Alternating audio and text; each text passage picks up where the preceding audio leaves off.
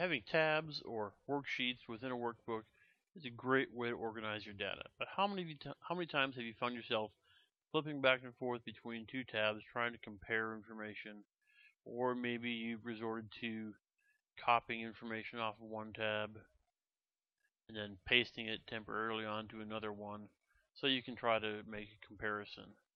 Um, there's a much easier way to do this. If you go to the view uh, view tab on, up on the ribbon and click this new window button. Now if you've got your worksheet maximized, you won't hardly even see that, that uh, it's done anything except that up here now it says book one, two. And so what it's actually done is opened up another view of the same same spreadsheet or same workbook. Now if you go to arrange all, you can choose however you want it um, to be arranged.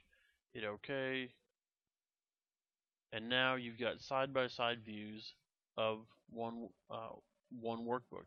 So you can look at have a different tab selected uh, in each window. And a uh, cool thing too, you'll notice that if I go back to having the same tab selected, if I enter something in one window, it's simultaneously happening in in the other because it's two views of the same spreadsheet.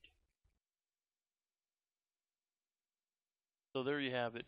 Finally, a simple way to look at two tabs of the same spreadsheet at the same time.